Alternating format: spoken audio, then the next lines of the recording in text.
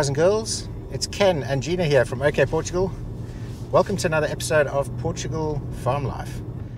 We're actually off the farm and in this episode we're not really going to be on the farm so it's not really a Portugal Farm Life episode as such but we're going to take you guys on a little adventure. So come along with us and let's have some fun.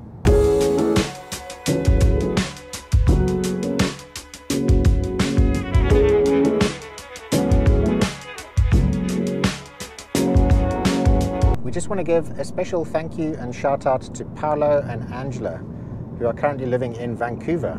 Uh, they're originally from Portugal, and they said that they've been watching our videos and that we've actually inspired them to come back to Portugal earlier than they originally planned. And uh, they very kindly offered to buy us lunch. Now, they're not actually in the country, um, but in their hometown, uh, one of their good friends has a restaurant, and uh, they've offered to buy us lunch at this restaurant. So we're just on our way there now. Uh, both of us are getting quite hungry. And, uh, and then after that, we are going to take you guys on a little adventure. So do stay tuned.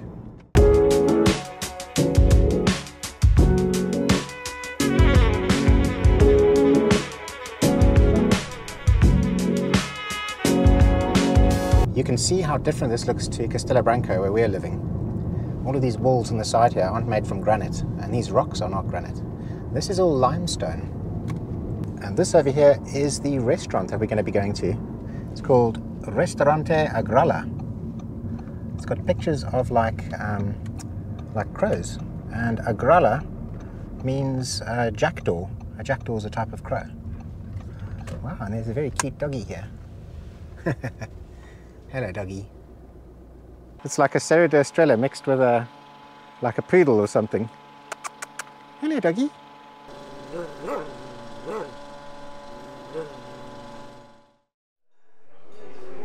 So the restaurant's Restaurante Agrala, and Agrala, as I said earlier, is a jackdaw, which is kind of like a type of crow.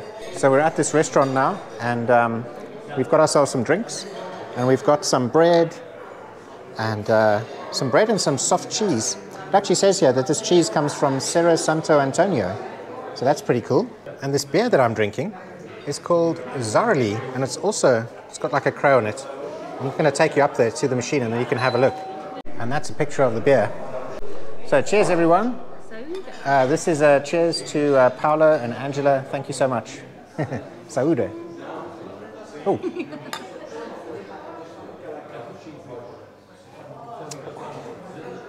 So the food has arrived. Gina has bacalhau com natas, which is basically bacalhau with like a cream sauce. And uh, I've gone for a steak. I can't rem remember the exact name. Oh, and I have another beer coming. Obrigado. Muito obrigado. So yeah, so I've got a steak, we've got some lemon, we've got some patatas fritas. Oh, and it doesn't end there. We've got some rice with some black beans. We've got a, a lovely fresh salad. And Gina ordered another another portion of patatas fritas. Yeah, I think we've got too much food. Yeah. Give it a good go. We will, we will. Awesome. This looks so good. And uh, we are going to dig in now, and we'll see you in a bit. So I sometimes find it really difficult to eat in Portugal restaurants because a lot of it's red meat, different cuts of meat. And I'm not over keen on that. But I finally had bacalhau explained to me, and the one that has no bones, you don't have to spend ages picking the bones out, is bacalhau com natas. Com natas. Yeah, and it was lovely. It's a bit like English fish pie and it was really really yummy but this bit that I've saved here is so that I have enough room for chocolate mousse. and my steak was absolutely amazing. I'm not just saying that. Honestly, uh, in the two years that I've been in Portugal, I would say that this is definitely in my top three steaks that I've had. The big difference here is that they actually use charcoal and you can really taste like the smokiness and you can taste the charcoal on the meat itself.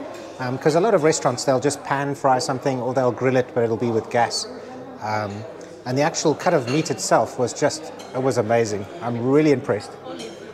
Yes, and it's from, uh, it's from the olive trees. So around this area, there's lots of olive trees.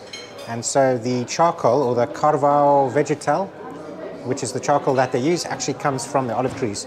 So Nuno, thank you so much for having us. Um, this has been an amazing restaurant to come to, and we will definitely come thank back. Thank you, thank you. And uh, yeah, thank you so much, uh, Paolo and Angela for paying for lunch for us. That's very, very, very generous. And I, I don't know if, uh, Nuno, if you have something you want to say to Paulo. Okay. Hi, Paulo. Come to Portugal and go lunch with Ken and me. Yeah. And our family. Yeah, sounds good. and thank you to invite the, the Ken for, for lunch here Yeah. and to know the, the village and the caves. yeah. Thank you, Paulo. Well, that's where we're going to go next. We're going to go and check out these caves. Thanks, Nuno. Okay. Thank you. Good man. Thank you. We're just leaving the restaurant now, which is behind us.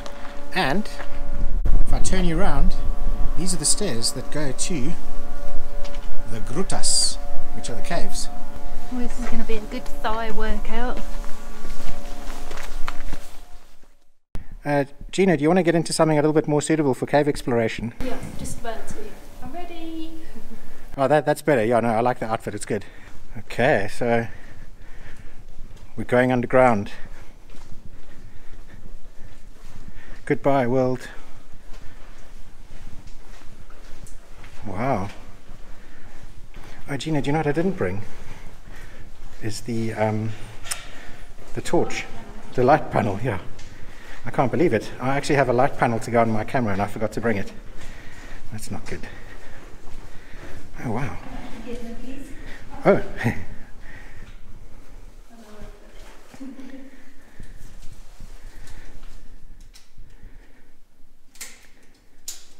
Muito obrigado. Okay.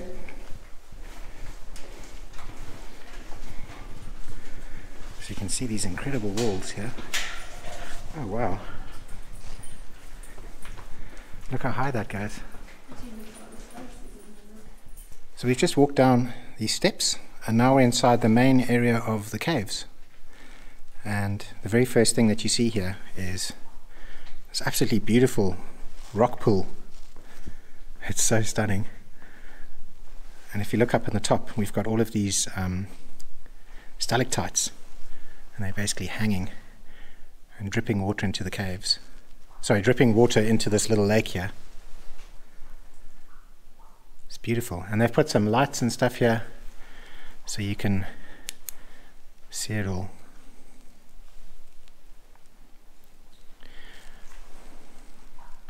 So all of this is limestone.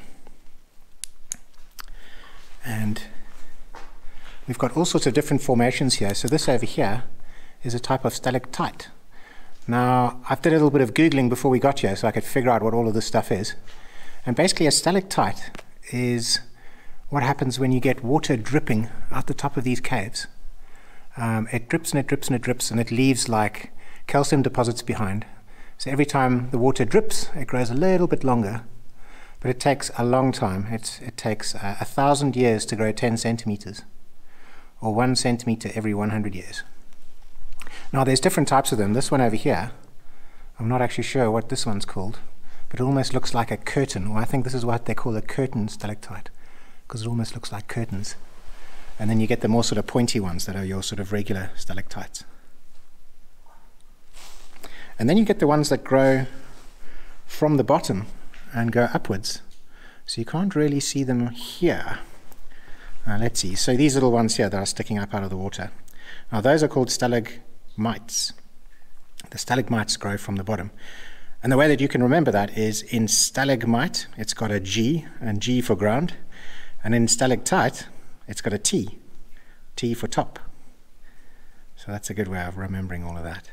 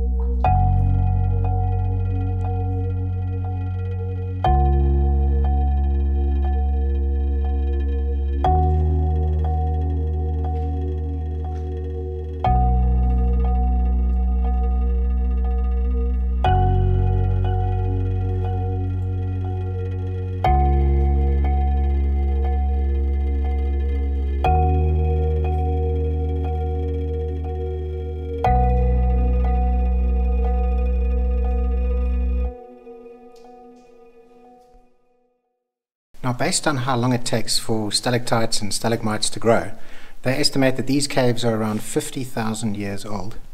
And in 50,000 years, a little bit of rain, a little bit of water, that's what it took for nature to carve these beautiful, beautiful spaces underneath the ground.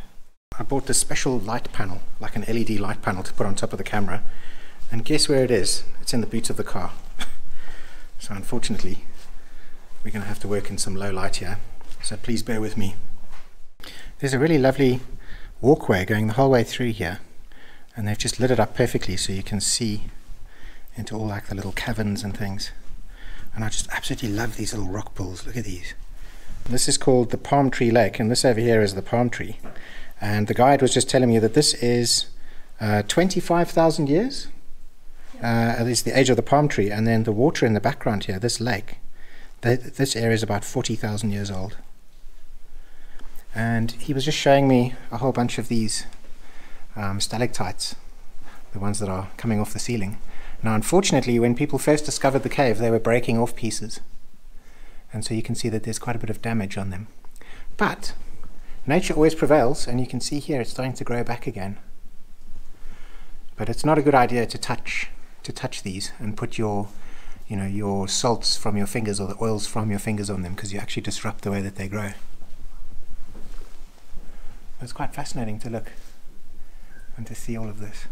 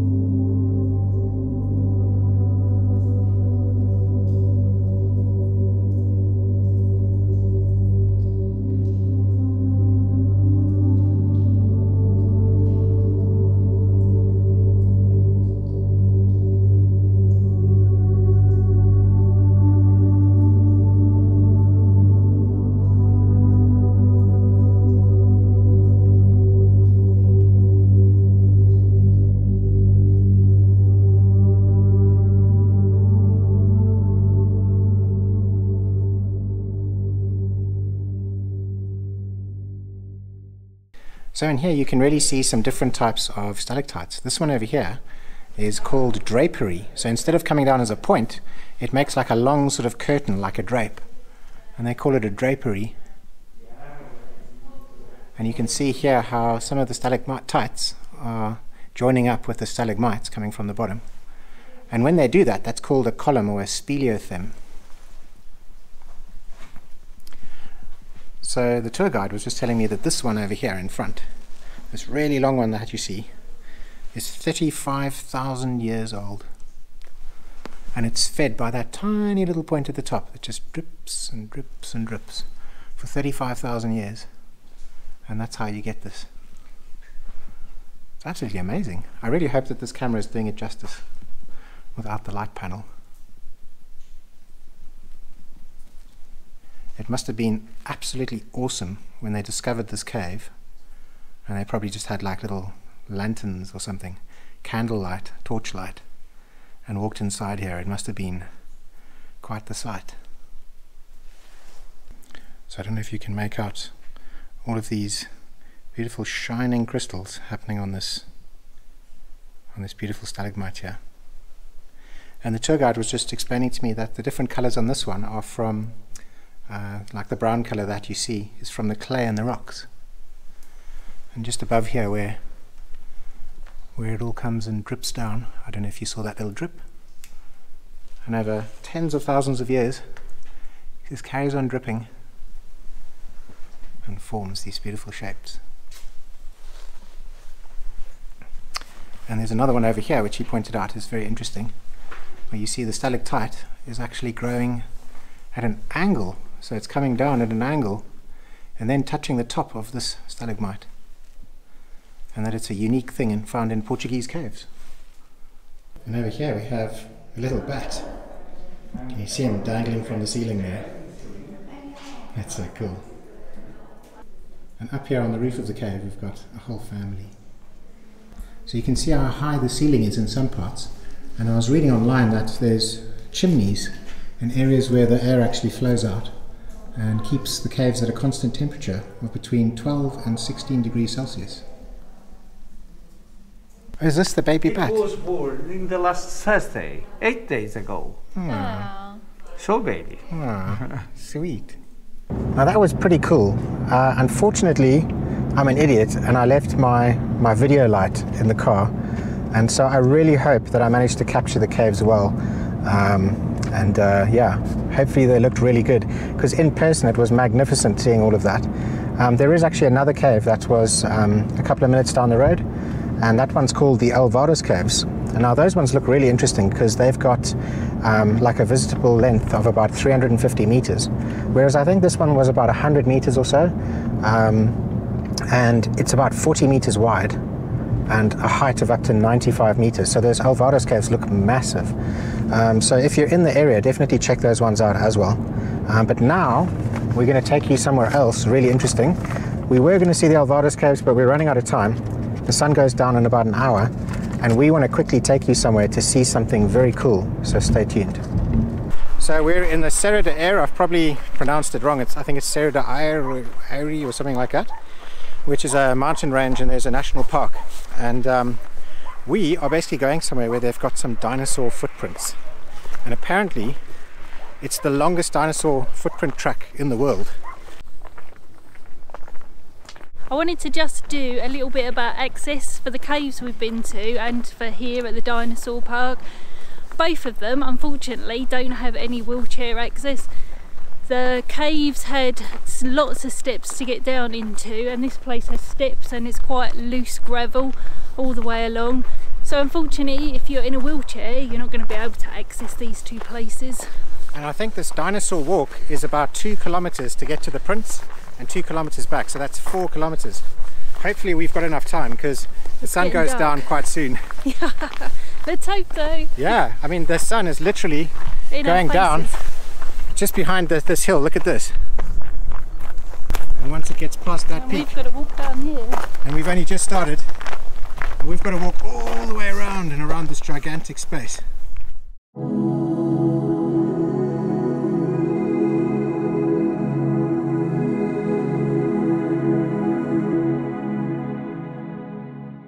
So in 1994, a couple of guys were working in this quarry, which is what this area is now, and uh, they basically discovered these dinosaur footprints, and now it's been turned into like a national monument. And there's actually several hundred of these footprints that cover an area of 30,000 square meters. So it's a three hectare, you know, piece of ground that's covered in a whole bunch of dinosaur footprints. So they have a little information thing here on the dinosaurs, um, but the ones that we're looking at today are called sauropods. And as you can see here, they've got a tiny head, a long tail, and they've got legs that are similar to elephant's legs. And on the, the back feet and on the front feet, where the thumb part is, they've got like a long nail. Now these guys were about 30 meters long and weighed about 70 tons. So these are some big dinosaurs. So normally we wouldn't be rushing something like this. Uh, you can see the sun is nearly nearly going down and I feel like we're at the very beginning. Now there are all sorts of different viewpoints here where you can stand and you can look back over this huge quarried out area here. But uh, we don't actually have the time for that right now.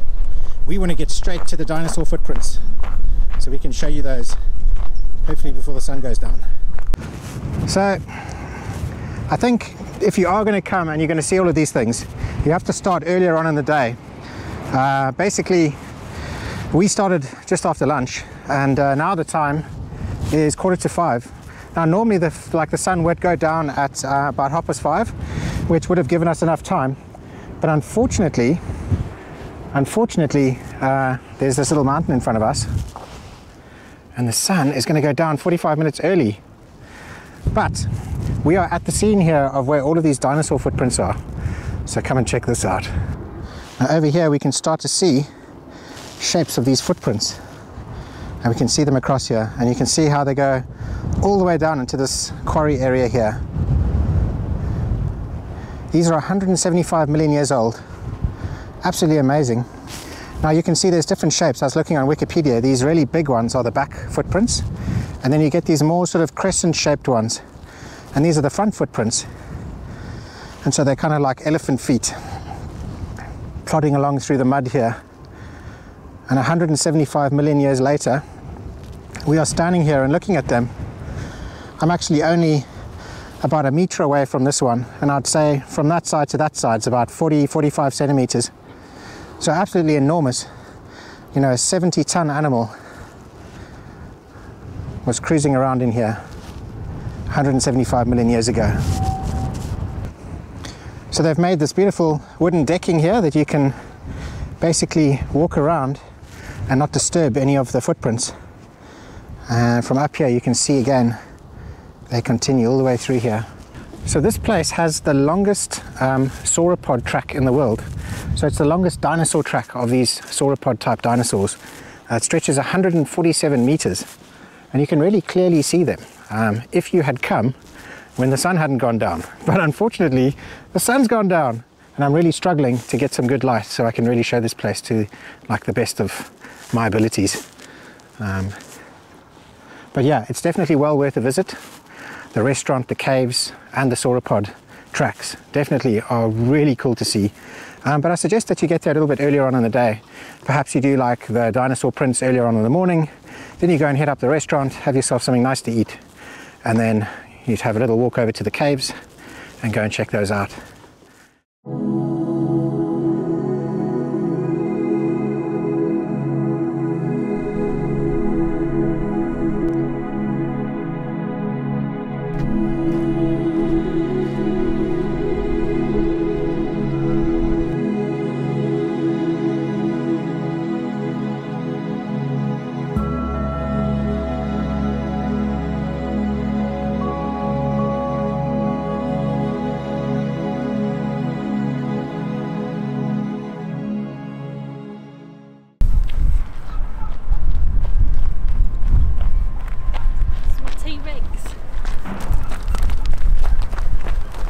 You being a T-Rex?